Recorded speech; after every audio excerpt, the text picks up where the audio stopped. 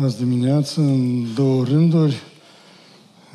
Am vorbit cu voi despre taina asta a nașterii din nou, pocăință și credință, ingredientele astea două din care un om se schimbă complet.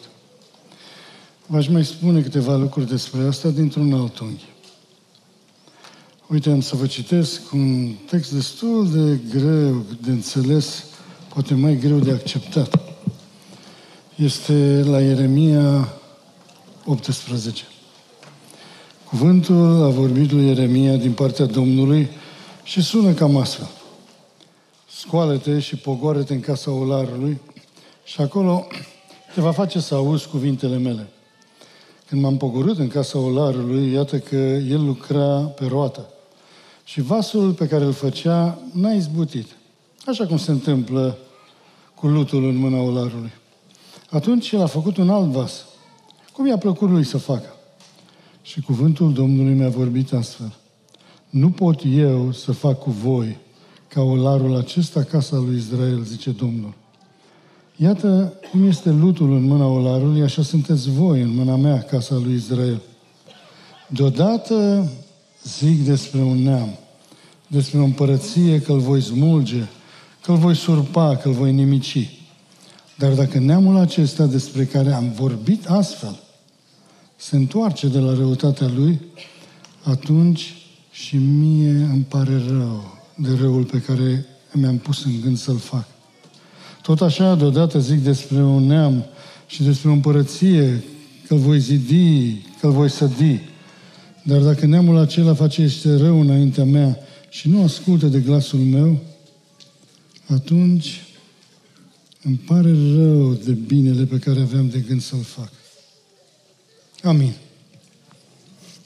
Noi ne-am obișnuit, nu, cu fraza asta despre Dumnezeu în general, e despre un Dumnezeu care nu se schimbă.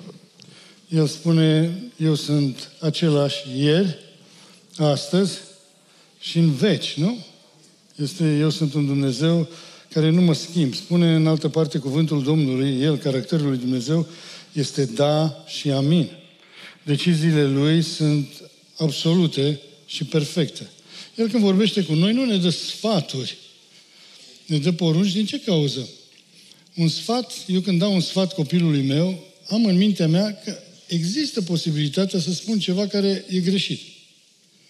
Din cauza asta îi dau un sfat și apoi îl las cumva să decide. El are 18 ani, are 20 de ani, îi dau un sfat. Nu, sunt sigur că e bun, dar există posibilitatea să nu fie chiar perfect. Dar la Dumnezeu nu există posibilitatea asta. El când ne dă un sfat, nu ne dă ceva pe măsura noastră. Ne dă ceva pe măsura Lui. Și El este o absolută perfecțiune și din cauza asta când vorbește cu noi, câteodată sunt cuvinte absolut imposibil de înțeles.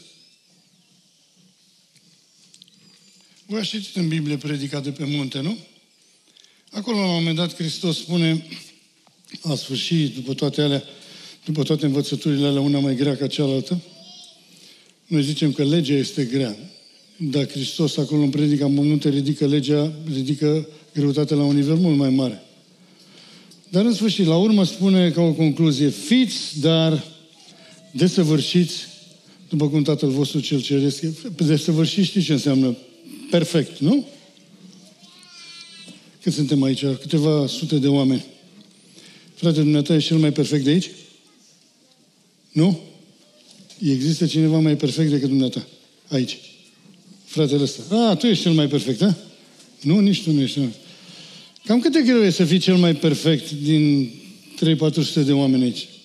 500 cât om fi aici? Bă, e destul de greu, dar nu este imposibil, a zice.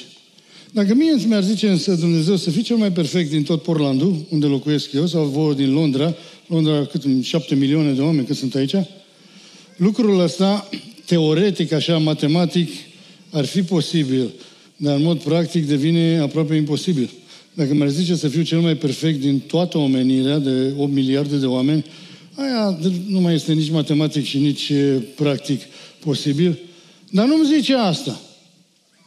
Îmi zice să fiu perfect ca Dumnezeu din cer. Acum, dumneavoastră ați văzut pe unul așa de perfect? Vecinul dumitale e perfect așa ca Dumnezeu? Nu. Nu e nimeni, vânzător de la magazin, eu știu cine. Cine e perfect așa? Nici măcar cicia mea nu e așa perfectă ca Dumnezeu. Din cauza asta voi nu aveți nicio șansă. Nu, nu poți să fii perfect ca Dumnezeu. Și atunci, pentru care motiv Dumnezeu ne spune nouă ceva care știe foarte bine, știe absolut precis, că nimeni nu poate să ajungă acolo. Ce fel de sfat e ăsta? El știe că nu putem să ajungem acolo și noi știm că nu putem să ajungem acolo, foarte bine știm. Și atunci cum de de porunci care nu se pot împlini, nimeni nu le poate împlini? Unul dintre motive este că Dumnezeu nu ne poate da sfaturi pe mărimea noastră. Trebuie să ni le dea după caracterul Lui. Iar El este perfect. El nu poate să zică lui Andrei, Andrei, eu te înțeleg pe tine, hai de fi și tu mai, mai așa și așa, dar nu mai fi, fi un pic mai bun decât el, da? Ce să fac, atâta pot. Nu poate să-mi dea lucruri căldicele, că el este perfect, nu poate să dea decât lucruri perfecte. Și mi le dă pe măsura lui chiar dacă nu pot să ajung acolo. Iar în al doilea rând se întâmplă lucrul ăsta din cauza că, în general, în Scriptură, nu ni se dau ținte, ci ni se dau direcții. Care este diferența între o țintă și o direcție? Dacă eu trebuie să ajung de aici la Madrid și la ora aia la biserică și am ajuns numai la 10 metri și n-am reușit să intru în biserică, am pierdut tot. Dacă trebuie să mergi un milion de mile ca să pui mâna pe, uh, eu știu, pe o ladă mare de aur și am mers un milion de mile fără 2 metri și 2 metri ea nu i-am mers, n-am pus mâna pe absolut nimic, am pierdut tot. Dumnezeu ne dă o țintă să ajungem în paradis și dacă ajung undeva până aproape, dar n-am ajuns acolo, am pierdut absolut tot. N-am câștigat 99%. Am pierdut tot, tot. Asta înseamnă dacă trebuie să ating o țintă. Dar dacă Dumnezeu îmi dă o direcție, cu totul altceva. Fiecare pas care îl fac în direcția aia este un succes absolut. Dacă m-am apropiat 3 metri de ținta de, de direct, în direcția aia, dacă nu mi-am schimbat direcția și dacă nu m-am oprit din mers, orice pas este un succes. Îmi zice, fi desăvârșit, după cum Dumnezeu este desăvârșit, orice pas fac în direcția aia este un succes, pentru că aia nu e o țintă. La aia n-am să ajung niciodată. Dar aici, cel puțin în lumea asta. Dar fiecare pas care îl fac este în direcția aia și Dumnezeu mi-a dat o direcție. Din cauza asta, deseori să nu fiți foarte necăjiți, că nu sunteți chiar atât de grozav cum ar trebui să fiți vorba îmi spune, am văzut odată un, am văzut un melc și era așa de necăjit. Și zice, l-am întrebat, de ce ești așa supărat? Și mi-a zis, zice, sunt supărat că merg așa de încet. Uite iepurele la ce repede merge. Păi da, da, eu zic, iepurele este iepure și tu ești melc. Tu mergi la nivelul unui merg și iepure la nivelul unui iepure. Atâta timp cât mergi.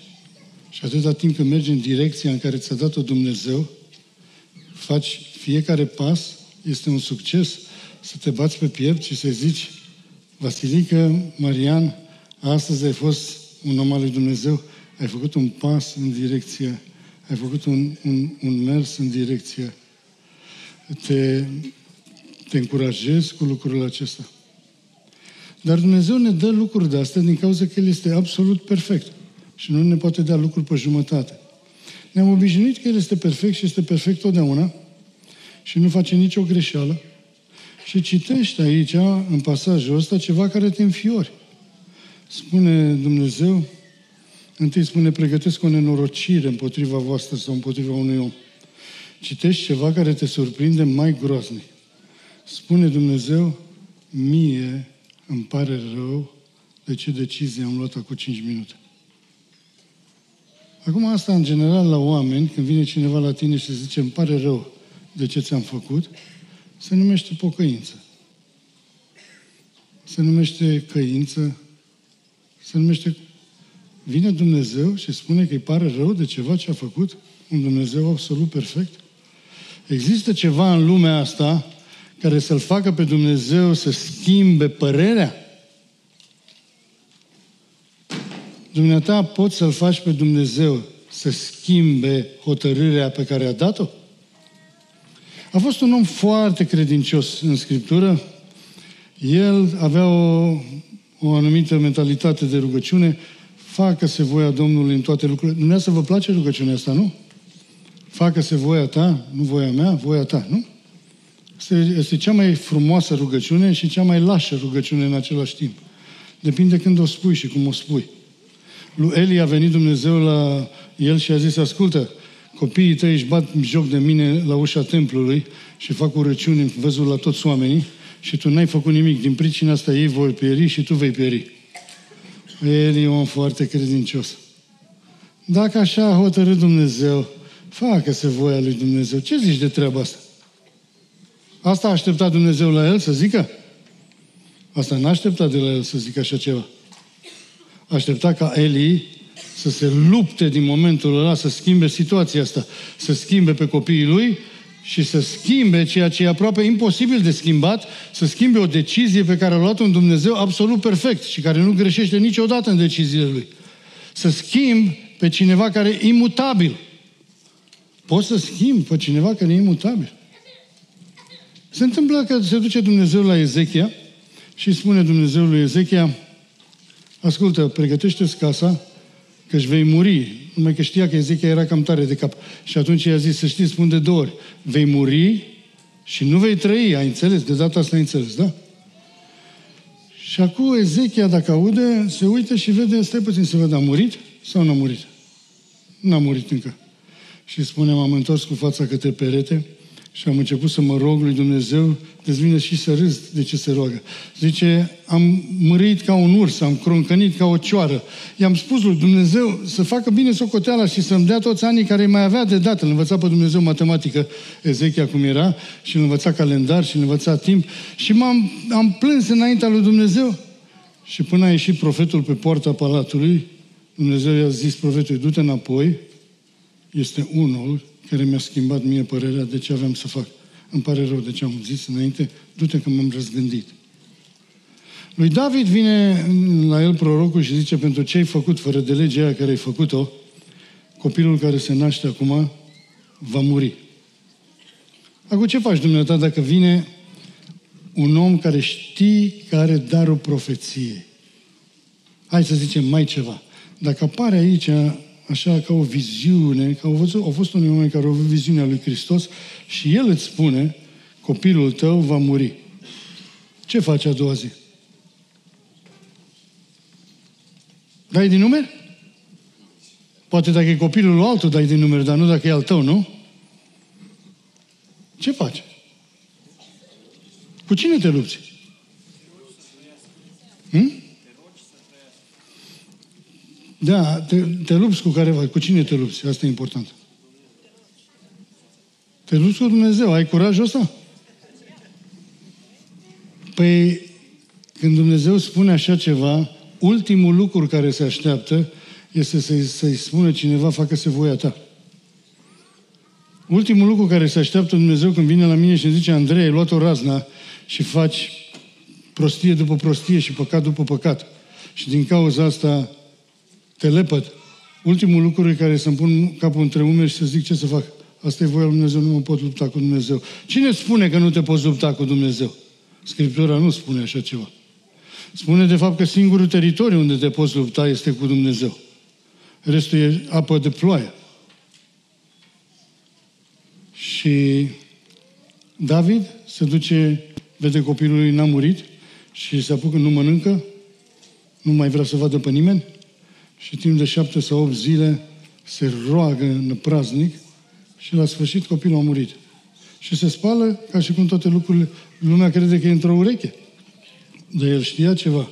Atâta timp între amenințare și execuție, există un timp în care Dumnezeu nu așteaptă, eu să zic, facă-se voia Lui, așteaptă să mă lupt, să mă rog, să încerc să-i schimb părerea. Poți să-i schimb părerea lui Dumnezeu? Există ceva cu care poți să schimbi părerea lui Dumnezeu la nivel individual și la nivel de națiune și la nivel global chiar. El spune la nivel individual, v-am dat exemplul al lui Ezechia, și la nivel de națiune spune el aici, în textul care am citit. Spune, mi-a, păr- mi-a părut rău de rău care am vrut să-l fac unui popor întreg.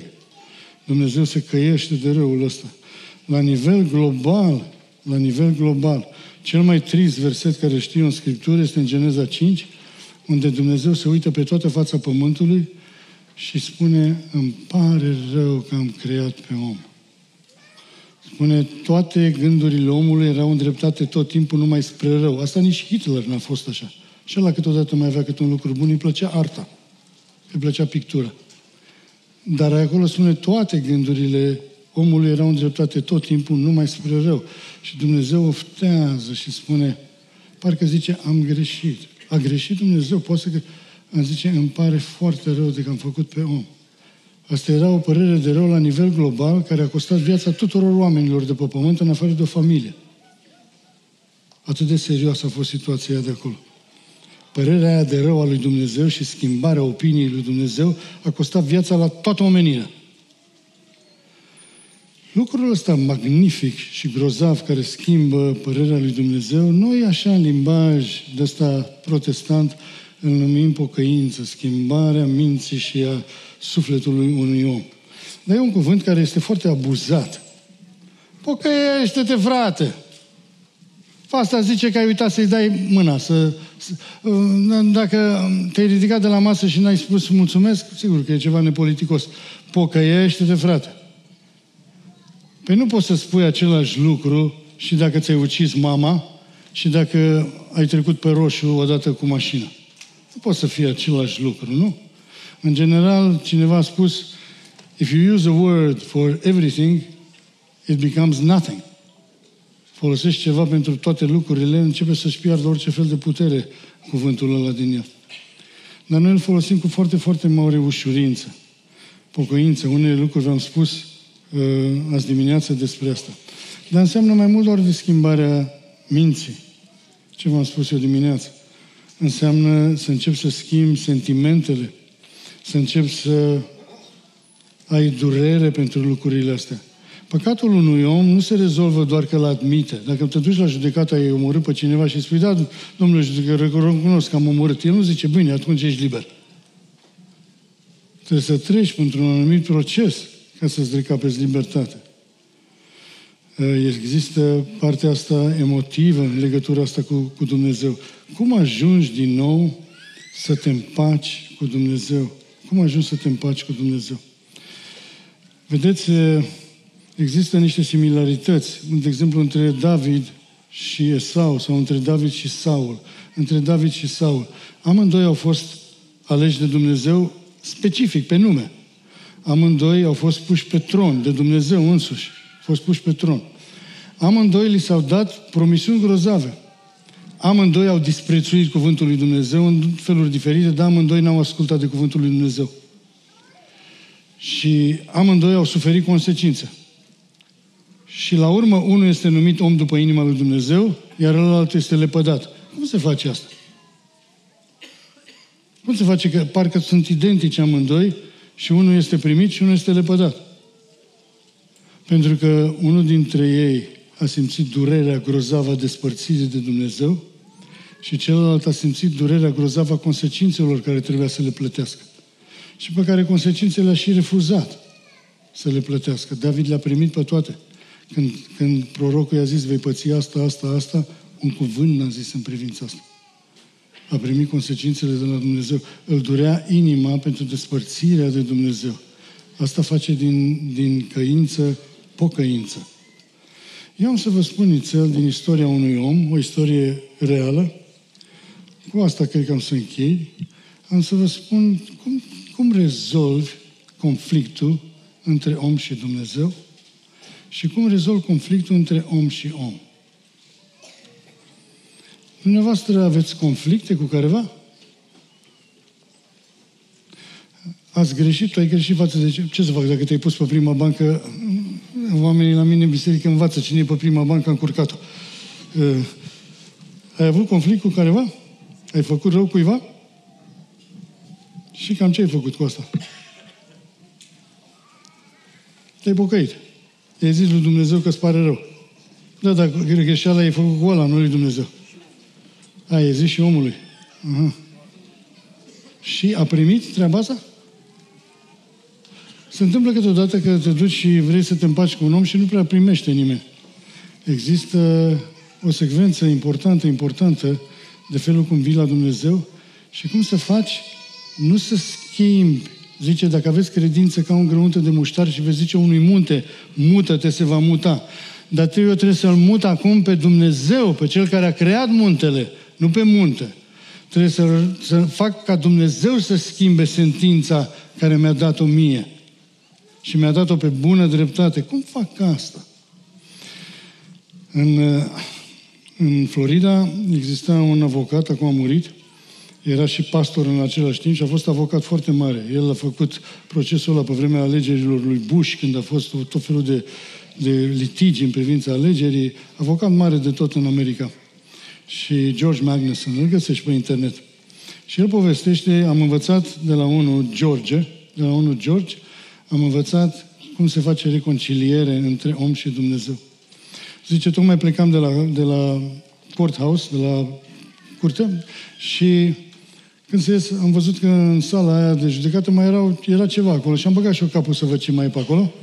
Și m-am uitat, erau tot felul de oameni care așteptau să fie luați la cine știe ce întrebări.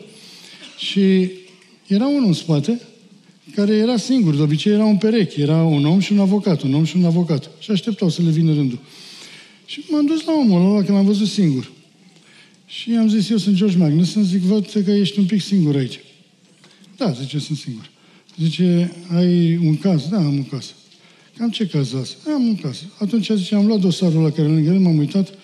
George furase pâine, furase salam. Asta a fost acum vreo 30 de ani, când era încă problemă să fur pâine și salam. Acum poți să fur cât vrei în America, nu-ți mai zice nimeni nimic. Și, dar atunci era problemă.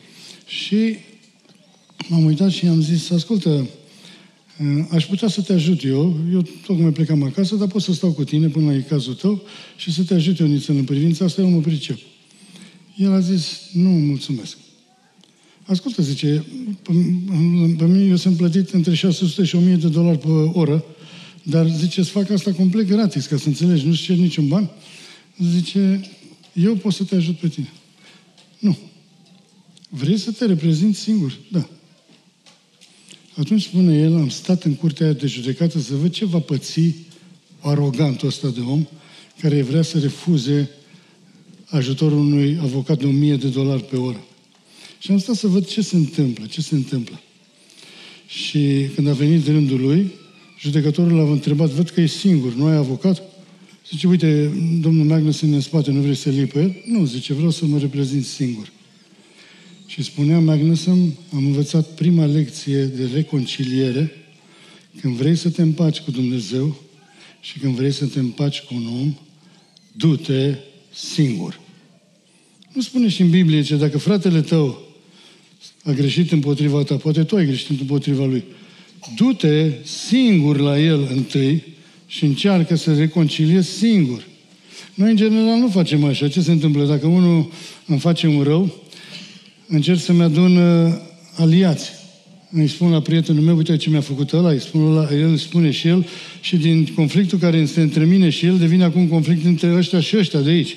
Și între familia mea și familia lui, și rudele mele și rudele lui, încercăm să ne adunăm tot felul de aliați în partea asta.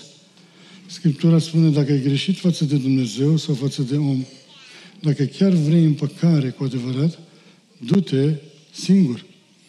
De obicei, câteodată avem ideea să ignorăm problema. Dacă o ignor, poate trece situația. Eu am aflat că voi luați tichete aici cu poze, e adevărat? Vă face poză și vă vine etichetă. Sau vă vine amendă, ce vă vine? Da, e o bucată de hârtie când scrie că trebuie să plătești. Dacă nu plătești, ce se întâmplă după două săptămâni? Se dublează. Nu are nimic, tot o bucată de hârtie. Nu mi-a luat nimeni niciun... Vă ia banii cu forța? Nu. Bă, o arunc și pe aia cu noi. Ce se întâmplă peste două săptămâni? Hmm? Curte, nu mă duc. Aia de la curte spune că se vine la... tot o hârtie și aia, o arunc și pe aia cu noi. Ce se întâmplă? Păi suspendă licența și dacă ești cu mașina, îți ia mașina și dacă vrei să pui mâna pe mașină, te arestează și lucrurile se agravează. Timpul nu rezolvă lucrurile așa cum credem noi că le rezolvă. Timpul doar le agravează în general. Când ai un conflict cu Dumnezeu, amânare, doar agravează. De-aia se scrie în Biblie, astăzi dacă auziți vocea Lui, nu vă împietriți inima. Astăzi, e foarte important astăzi. Uh, în familie la fel. un copil greșește, mai bine îi dau o mustrare pe loc. Eu știu o familie unde mustrările și pedepsele erau numai vineri la ora 8. Vine seara la ora 8. Tatăl nota în carnet toată săptămâna ce a făcut Maria, ce a făcut ăla, ce a făcut ăla, nota aia. Și ce se întâmpla? Pe vreme ce se apropia de vineri, copiii începeau să fie terorizați, că știau că vine ziua judecății. Ziua când se deschide cartea vieții și a morții și se citesc faptele bune și faptele rele și se scoate cureaua și el are 20 de curele, el are 15 curele, el are eu știu cât... Îngroziți erau.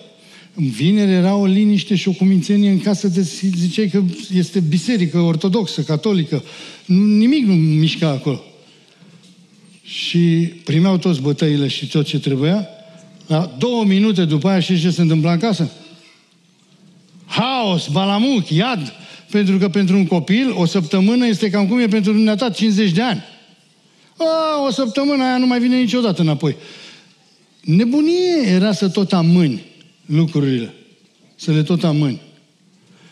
Uh, spunea avocatul ăsta, am încercat, am învățat prima lecție, vrei să te împaci cu Dumnezeu, du-te de unul singur. Și judecătorul ăsta, cum nițel mirat, i-a zis, ok, George, dacă nu vrei să ai niciun avocat, uite, uite ce mă gândesc să facem. Uite, să facem... Uh, ce ar fi să amânăm vreo trei, vreo trei luni? vii, o să chem și pe polițaiul care te-a arestat, um, poate vă împăcați între voi, pâine, lapte, salam, vă împăcați și terminăm cu tărășenia. Judecătorul vrea să-i facă o favoare. Nițel, cumva să, peste trei luni mai ne spălăm pe mâini și mai vedem cum este. Și George a zis, nu, prefer să rezolv toată problema astăzi și aici. Păi zice, vrei să faci declarație fără avocat? Da, fără avocat și vreau să fac acum.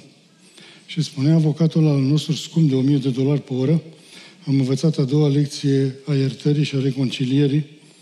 Dacă vrei să faci ceva, fă ceva prompt. Amânare. Amânare înseamnă tichetul dublu și tichetul împătrit și nu spune Scriptura, împacă-te când ești cu părâșul tău, nici ne ajuns la cort. Împacă-te când ești el pe drum. Ca nu cumva să amâni și să ajungi la curtea de judecată și judecătorul să te arunce în închisoare și zice, vei sta acolo să știi până vei plăti ultimul bănuț. Dacă vrei să te împaci cu Dumnezeu, împacă-te astăzi. Câți dintre dumneavoastră ați auzit vreodată vreun predicator care face o chemare și spune, fraților, astăzi e duminică, miercuri la ora șapte, vă rog să veniți să vă pocăiți.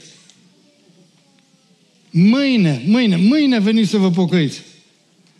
Ați auzit vreodată pe cineva? Dar ce vi se spune? Frate, astăzi, dacă ești aici în biserică și dacă simți chemarea lui Dumnezeu, vină și întoarce-te astăzi, pentru că predicatorul știe ce așteaptă Dumnezeu, amânare înseamnă aproape niciodată. Diavolul vine la noi și nu ne spune refuze ce zice Dumnezeu.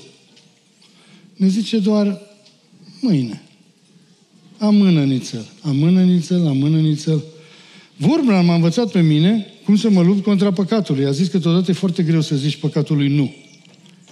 Dar zi păcatului mâine. Mâine. Pe copilul meu, el mă învață ce să fac dată când sunt la computer, lucrez la computer și deodată îmi vine nebunia asta în cap. Îmi sare o reclamă de aia în ochi și de la aia dacă apăs pe un buton și mai apăs pe ceva, începe să curgă nenorocirile alea pe ecran, ce să fac? Ce să fac? Că la faza aia sunt singur și sunt și îmi dau seama, sunt pe muchia așa, sunt cu jumătate de picior în afară și sunt gata să... Și nu știu dacă pot să rezist. Zic, nu rezista. Doar amână. Îi spui diavolului, stai nițel, așteaptă-mă un pic. Am 30 de minute. Uite, eu mă duc să mă plin cu Dumnezeu și să-i povestesc Dumnezeu că sunt gata să mă uit la pornografie. Și mă duc și te iei și te duci la plimbare, eu stau pe un deal și eu încolo peste deal și te duci încolo și încoa și spui lui Dumnezeu, Doamne, să știi, Tu care m-ai creat și mi-ai dat inimă curată și mi-ai dat părinți credincioși și mi-ai dat bunici credincioși, diavolul mă așteaptă în cameră acolo și ar vrea să fac aia și ar vrea să fac aia. Și știu că fac o rană foarte mare, fac o rană foarte tare și ție și lui, și lui tata și lui mama. Și vorbești cu Dumnezeu și îi spui de, îți aduce aminte de lucrurile în care El te-a scăpat și te plimbi vreo jumătate de oră amâni pe diavol. Pentru că probabil când vei veni înapoi, ăla nu te-a mai așteptat. Și îți vei vedea de treabă, la fel cum face El cu noi, când ne zice să-L amânăm pe Dumnezeu. Lecția asta grozavă, să nu-L amâni pe Dumnezeu și să, dacă te duci să te împaci, să te duci în ziua când știi și în ziua când ești chemat. Astăzi. Acum, judecătorul ăsta a văzut că George vrea să pledeze, să spună dacă e vinovat sau vinovat. A zis, uite, George, poți să faci așa, poți să spui sunt vinovat, că văd că n-ai avocat, trebuie să te învăț eu ce să faci. Nu, poți să spui sunt vinovat, sunt nevinovat sau sunt vinovat cu explicații. Și George spune, sunt vinovat. Uite, George, n-ai înțeles, zic, poți, poți să ne explici cam de ce ai furat pâine, cam de ce ai furat aia, să, dai, să ne dai niște explicații. Și el a zis, nu vreau să dau explicații. Atâta sunt, sunt vinovat. George, dar văd, uite, uite, citesc aici că ai fost angajat 21 de ani și acum 6 luni de zile ți-ai pierdut serviciu și s-a terminat ajutorul de șomaj și ai cinci copii acasă și domnule judecător. Dacă ați vrea scuze, eu pot să stau trei ore aici, zice, să vă spun o mie de scuze. Tatăl meu și mama mea nu m-au învățat să fur. Biserica unde merg eu nu m-a învățat să fur. Pastorul bisericii nu m-a învățat să fur. Bunicii mei nu m-au învățat să fur. Am făcut rușine familiei mele, copiilor mei, bisericii mele. Am făcut rușine lui Dumnezeu. Am făcut rușine în dreapta și în stânga mea. Nu vreau scuze și nu vreau explicații. Spunea avocatul ăla, m-am, m-am uitat cu, cu groază, zice, eu l-aș fi putut să-l scap pe el cu poate 30 de ore de muncă publică sau ceva, aiureală de asta. Dar acum ăsta s-a pus în mâna legii așa și s-a dezbrăcat complet. Nu? El spune, am învățat de la George a treia lege a împăcării. Dacă vrei să te împaci cu Dumnezeu sau vrei să te împaci cu om, fă absolut perfect și fă absolut total. Nu vei să întâmpla câteodată greșești față de cineva și te duci la el și zici, ascultă, um, am, am cam greșit față de tine, dar e adevărat că și tu m-ai provocat și i-ai spus trei secunde despre ce ai greșit tu și după aia explici vreo trei ore cam cum te-a provocat el pe tine. Uh, îi dai explicații, îi dai scuze, îi dai... Aia, it's a bologna sandwich, cum v-am zis eu azi dimineață. Îi spui una bună, una rea și una bună și după aia crezi că ai rezolvat ceva. Și omul înțelege foarte bine. Vrei să vii și să notezi că ai făcut ce ai făcut și după aia poți să te duci la toată lumea, zici, mi-am cerut iertare, la revedere. Nu există nici durere în inimă, nu există nici, nici suport în minte, nu există nici convingere. Și împăcare nu se întâmplă în realitate nici cu Dumnezeu, nici cu omul. Dacă vrei să te împaci, fă complet. Cât de greu este pentru un tată cât de greu este pentru un tată să-și ceară iertare de la un copil de-a lui. Să-i spună copilului, am greșit față de tine. Te-am nedreptățit în privința asta. Cineva mi-a zis, dacă face asta, niciodată nu, mă, niciodată nu o să mai fiu respectat.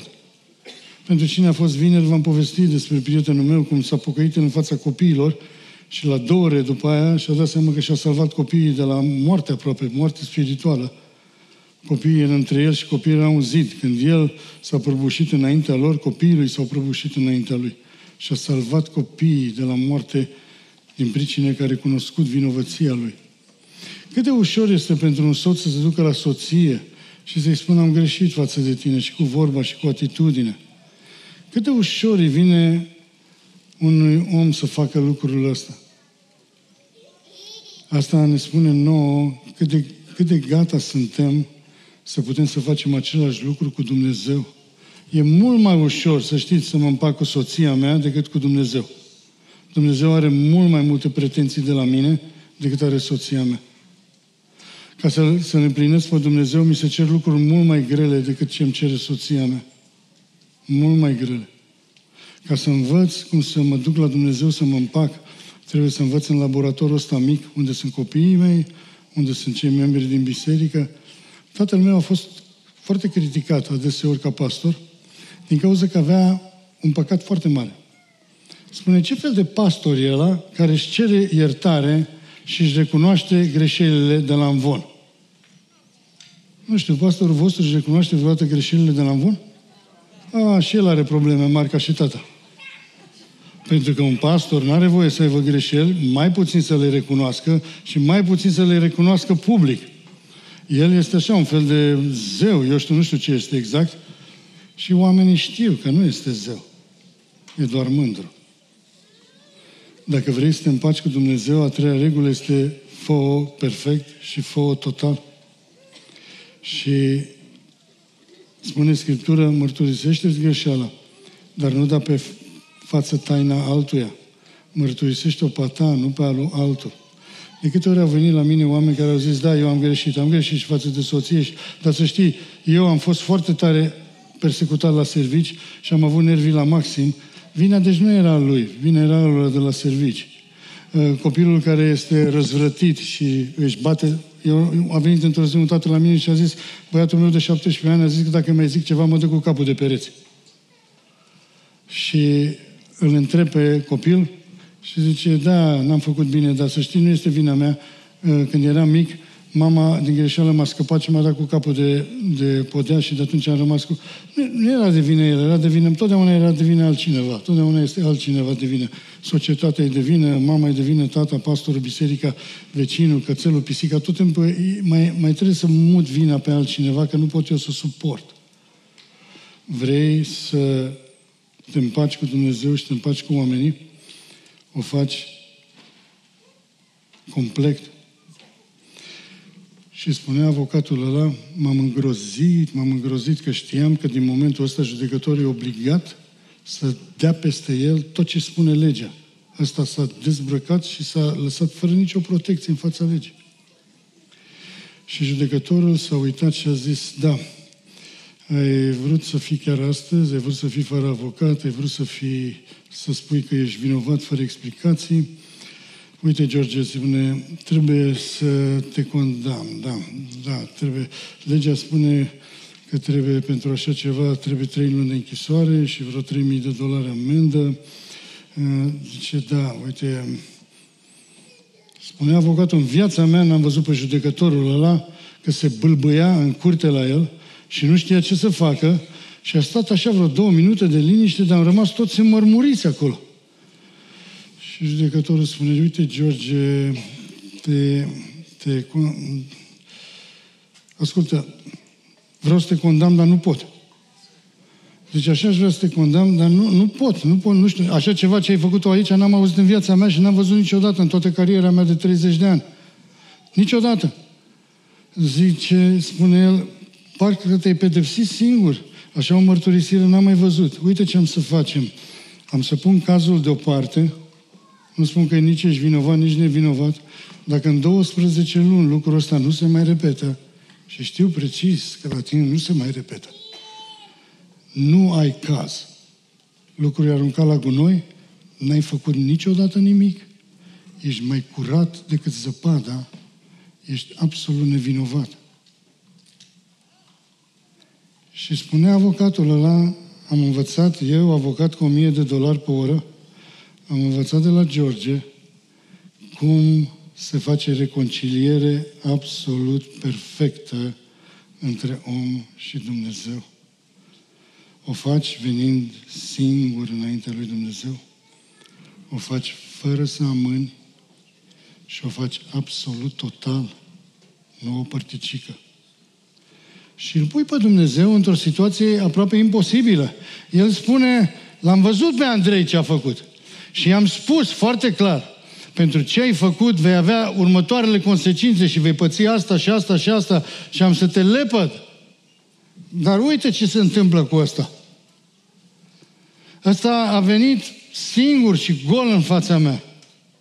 Și a venit fără alți avocați decât Hristos. Și a venit cu tot ce are și n-a ascuns. Andrei, ă, trebuie să te condamn. Eu am scris legea. Cum să încalc singur legea mea? Și spune, și vezi cuvintele astea din Ieremia, Dumnezeu spune, îmi pare rău pentru ce am vrut să-i fac lui Andrei. Îmi pare așa de rău. Mă schimb. Și tu, ca om, când te duci la Dumnezeu cu pocăință adevărată, nu ai mutat un munte, ai mutat pe Cel care a creat munții. Este alt lucru. Ai mutat pe Dumnezeu. Într-o închisoare din Austria, împăratul Frederic s-a dus odată și a vizitat închisoarea și am mai întrebat pe unul și pe altul, tu de ce ești aici? Ăla a zis, domnul, eu sunt nevinovat. Mi-a zis că am furat nu știu ce, dar de fapt n-am furat, eu era vecinul. S-a dus la altul și eu sunt nevinovat. A zis că mi-am bătut nevasta, dar n-am bătut-o destul de tare. S-a dus la altul și a spus, eu ziceam, zice că am omorât pe cineva, dar n-am omorât, doar l-am călcat cu căruța și, și am rupt gâtul. Eu știu dacă n-a avut un gât mai tare. Era, erau și a întrebat pe unul, zice, tu ce ai făcut? Zice, eu sunt foarte vinovat. Zice, eu am furat și am necestit pe mama și pe tata și biserica și toate lucrurile. Și împăratul s-a întors și a zis, mă ia dați drumul ăsta pentru ca să nu-i corupă pe toți nevinovații ăștia de aici din închisoare, ia scoateți-l afară pe vinovatul ăsta să plece de aici, că după aia strică pe toți nevinovații ăștia de aici. Cam asta se întâmplă între noi și Dumnezeu. Vii la Dumnezeu drept și așa cum ești și vii la Dumnezeu fără să amâi și vii la Dumnezeu în mod complet și îl pui pe Dumnezeu în cea mai dificilă situație posibilă să spună, îmi pare rău pentru ce am vrut. Și asta se întâmplă cu un om, cu o biserică întreagă, cu o națiune întreagă și la nivel global. Poți să, într-o direcție sau alta, să schimbi o decizie a lui Dumnezeu. Și în seara aia te poți duce la rugăciune și să auzi, hmm, să auzi cam ce a auzit tâlharul ăla, care fiind pe cruce, el și celălalt își băteau joc de Hristos și la un moment dat a avut așa ceva absolut miraculos care nu se poate înțelege. S-a uitat la omul ăla din mijloc însângerat și făcut praf acolo pe cruce și a văzut altceva decât se poate vedea. Și s-a întors către tâlharul ăla și a zis, noi merităm soarta asta. Asta se numește pocăință, recunoaștere. Dar el el este un sfânt. Și s-a întors deodată către el. Nu putea să zic asta de la el, că nu avea cum să știe. Era Duhul lui Dumnezeu care venise acolo și a zis, adu-ți aminte de mine. Pe ce să-mi aduc aminte de tine? Să-mi aduc aminte că ai furat, ai tâlhărit, ai omorât, ai făcut, ai dres. Citești poezia lui Ioanit Tâlharul, te, te furnică pe spinare când ăla povestește ce a fost la poarta raiului și spune cine a fost. Pe ce să mi-aduc aminte? Asta mi-aduc aminte. Adu-ți aminte de mine când vei fi în împărăția ta. Și te-ai fi așteptat judecătorul suprem să zică, da, mi-aduc aminte de tot ce ai făcut, într-adevăr. Dar Hristos se întoarce către el și spune adevărat, adevărat îți spun, astăzi vei fi cu mine în paradis. E, și cam asta este istoria fiecăruia dintre voi care ați trecut în procesul ăsta, poate o dată, poate de două ori în viață. Cam asta e istoria între conflictele care le aveți cu alt om. Când cu doi oameni nu vă împăcați, în general, este din pricină că cel care se duce să-și ceară iertare nu o face singur, nu o face când trebuie și nu o face complet. E adevărat că totodată și pentru celălalt e greu să ierți, că dacă tu ierți, tu rămâi numai cu vinovăție, te duci la un psiholog, la un psiholog când ai probleme și el încearcă să echilibreze vinovăția cu amărăciunea. Adică să zică, e adevărat că tu ai făcut asta, dar și alții ți-au făcut ție altceva și le ține, că altfel ești foarte dezechilibrat și mai pune aici niște amărăciune contra la alții și echilibrează vinovăția ta față de alții, numai că toată șandramaua asta se coboară în noroi. La Dumnezeu nu este să pui altă o travă pe partea asta, să o echilibrezi pe asta, este să o iei pe asta complet de acolo și să ridice toate lucrurile deasupra. Și câteodată cel care te duce să-i ceri iertare știe că dacă te iartă, i s-a dus toată partea asta de amărăciune contra ta și a rămas numai cu vinovăția contra lui. De aceea, deseori, îl auzi pe el spunând și eu am greșit față de tine. Și eu am greșit, vrea și el să scape de vinovăție așa cum ai vrut tu să scapi puteți să ieșiți de aici liberi ca pasăre, cum să zice. Mai curați, fără cazier? Puteți să-i spuneți diseară Domnului cu mâna pe Biblie. Nu am făcut nimic. Sunt curat ca lacrima. Pentru că El ți-a luat dosarul, pocăință și credință, toate lucrurile se fac noi. Nu plecați de aici acum ați venit. Nu pleca cu povară și cu spinarea îngreuiată de amărăciune și de vinovăție. Te poți împăca cu Dumnezeu dacă te duci la El singur, dacă te duci la El fără să amâi și dacă te duci la El cu tot ce ai. Domnul să vă binecuvinteze.